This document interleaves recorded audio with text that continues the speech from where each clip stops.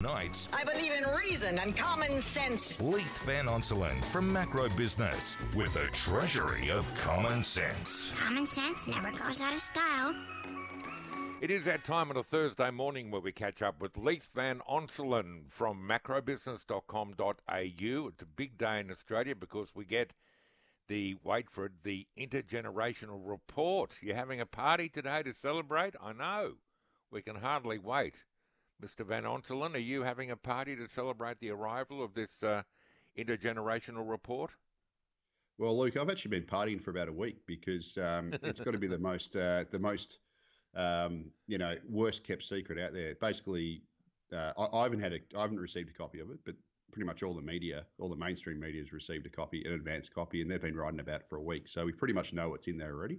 Yeah. Um, but later today it'll be that you'll actually be able to re- read the report. It'll actually be released to the public. So I haven't actually read the report. I've just read all the articles about the report, and I've got all the you know the, the key data around population growth, which is pretty much the stuff that I'm interested in anyway.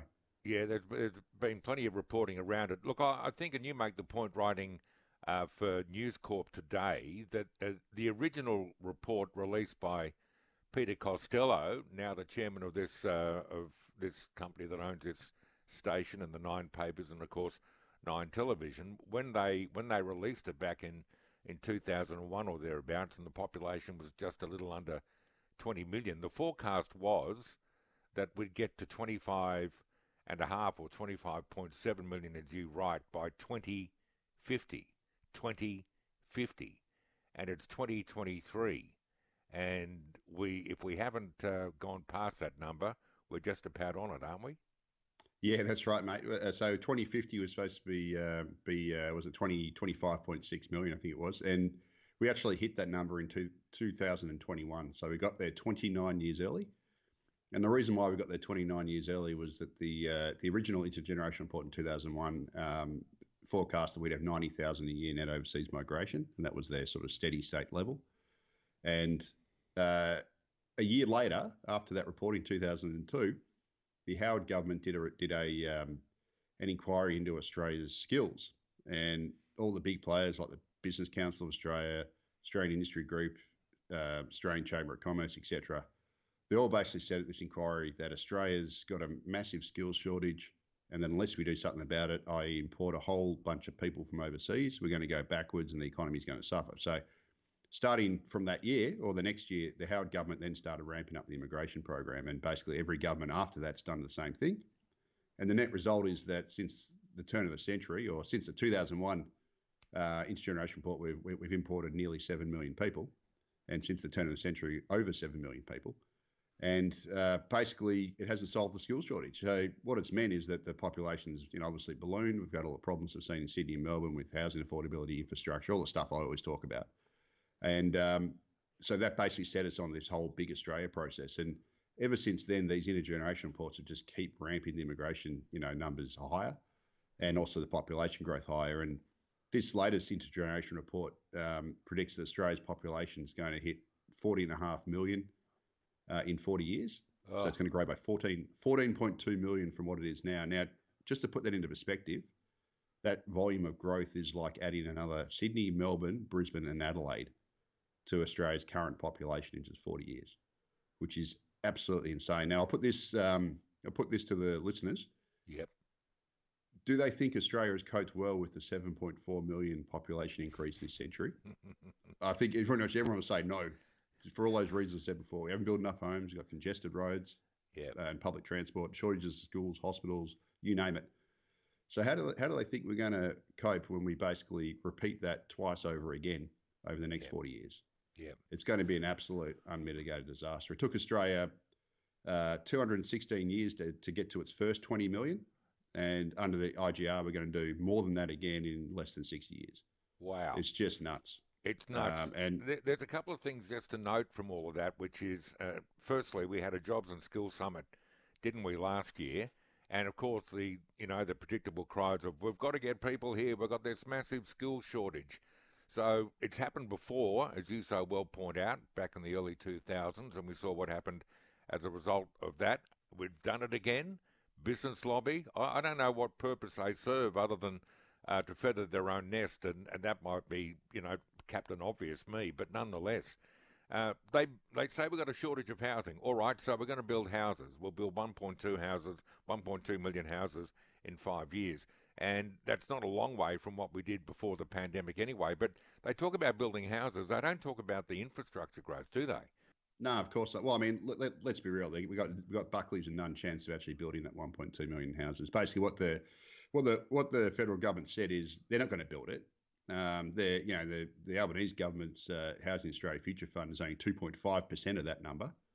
Mm. It's, it's, it's infinitesimal. Uh, what they what they've said is, oh, we can just relax this planning, and the private sector is going to magically build it. Well, that they, they won't because it's not in their interest to flood the market with supply because that just lowers prices, etc. So they won't do that. But also, you know, where, where's the uh, where's the materials, land, and everything else going to come from? We've Workers. just got, seen a whole bunch of builders go bust. It's just impossible. But as you said, what about all infrastructure? I mean, you can build the houses, but where are you going to get all the workers to then build all the infrastructure to go with all the schools, all the hospitals? If we're going to be adding at Canberra a year, yeah. you need to add all the Canberra's worth of stuff. And there's a bigger issue. Look, there's also, um, as you know, you live in Sydney, you remember this. Four years ago, we were in the middle of a really nasty drought, and Sydney's water supplies were down to about 20%.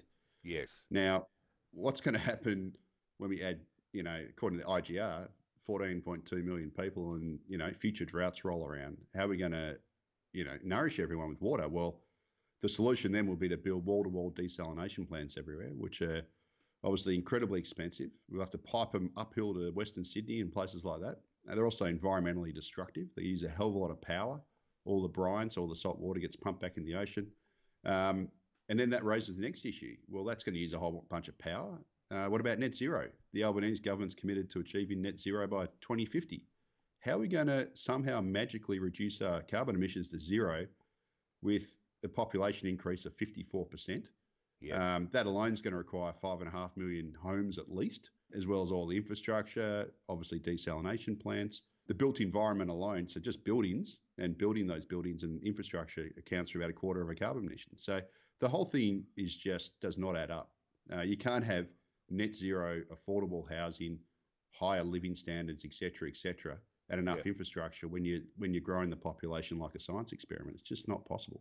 How do we? Uh, productivity has been the issue that's been talked about through much of this week, and obviously the treasurer will have more to say about this today.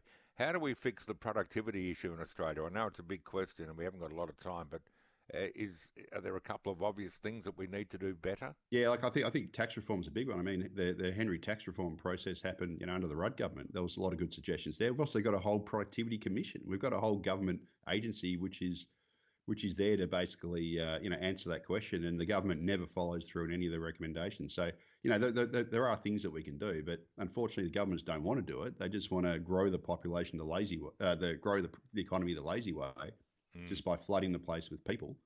And of course, the federal government does that because it's good for the federal budget because it raises income taxes, but then it pushes the costs onto the states, onto us private citizens, etc., which I've talked about, you know, uh, ad nauseum previously. So unfortunately, our policymakers don't want to do the hard yards. They want to do the easy thing. The easy thing is just to bring in a whole bunch of people and obviously bring in a whole bunch of voters for their party. Obviously, obviously, that's a very good point you make.